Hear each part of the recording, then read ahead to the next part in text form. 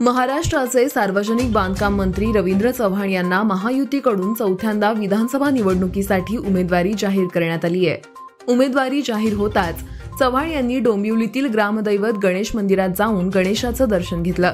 यावेळी त्यांनी पक्षश्रेष्ठींचे आभार मानले आणि लवकरच प्रचारात उतरून कामाला लागणार असल्याचं सांगितलं. उद्या ते कोकणातील भराडी देवीचे दर्शन घेणार आहेत. रविवार वीस तारखेला डोंबिवली पश्चिमेकडील कुंभारखान पाडा येथील मॉडेल स्कूलच्या सभागृहात पडलेल्या ग्रामस्थांच्या बैठकीत चिंचोळ्याचा पाडा नवा पाडा देवीचा पाडा या चारही पाड्यातील ग्रामस्थांनी मंत्री चव्हाण यांना जाहीर पाठिंबा दिला. चव्हाण दादांच्या नेतृत्वाखाली डोंबिवलीत रस्ते पूल आणि पाणी पुरवठा यांसारख्या प्रकल्पांची यशस्वी अंमलबजावणी झाल्यामुळं त्यांच्यावर जनतेचा मोठा विश्वास असल्याचं यावेळी ग्रामस्थांनी सांगितलं. यावेळी माजी नगरसेवक जनार्दन म्हात्रे माजी नगरसेवक विकास म्हात्रे यांसह अनेक मान्यवर उपस्थित होते. देशाचे पंतप्रधान आदरणीय नरेंद्र मोदीजी आमचे भारतीय जनता पार्टीचे राष्ट्रीय अध्यक्ष नड्डाजी भारतीय जनता पार्टीचे आमचे महाराष्ट्र प्रदेशाचे अध्यक्ष बावनकुळेजी आणि त्याचबरोबर आमचे सर्वांचे नेते आदरणीय देवेंद्रजी आणि आमची पार्लमेंटरी जी बोर्ड कमिटी आहे त्या कमिटीचं मी मनपूर्वक धन्यवाद देतो की मला पुन्हा एकदा डोंबोली शहरातील नागरिकांची सेवा करण्याची संधी ही पक्षाने दिली. पक्ष आणि पक्ष हिताच्या दृष्टिकोनातून जे जे महाराष्ट्रात आवश्यक आहे ते सातत्याने मी करत आलो.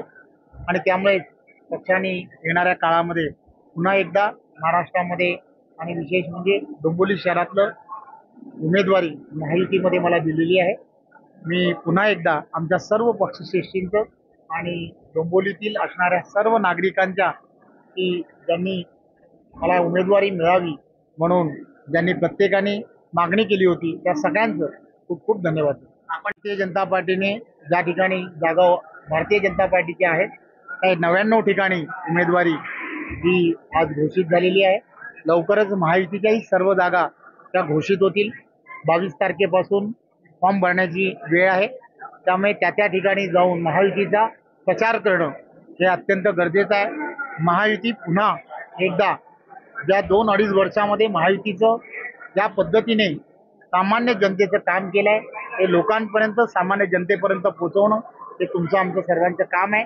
हे करण्यासाठी आम्ही सर्वजण कटिबद्ध आहोत आणि जोरदार प्रचार आम्ही उद्यापासून करणार इथे आलो होतो चिंचोळेचा पाडा आणि इथले असणारे कुंभारखान पाडा नवाबखान पाडा याच ठिकाणचे असणारे सर्व ग्रामस्थ या ठिकाणी एकत्र जमले होते.